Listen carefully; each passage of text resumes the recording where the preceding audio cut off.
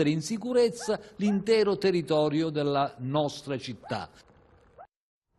Il ministro della sovranità alimentare e il Made in Italy, Francesco Lollobrigida, ha firmato il decreto per i danni all'agricoltura provocati dalla siccità che ha colpito la nostra regione a partire da maggio di quest'anno.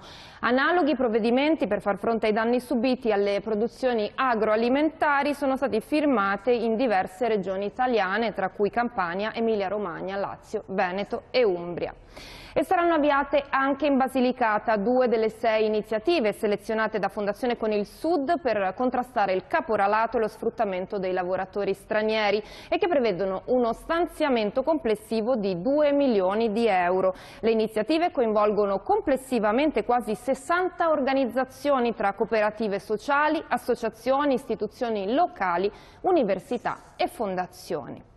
E sempre più giovani e famiglie con bambini soffrono la crisi. A dirlo è l'ultimo rapporto della Caritas di Potenza che nel 2021 ha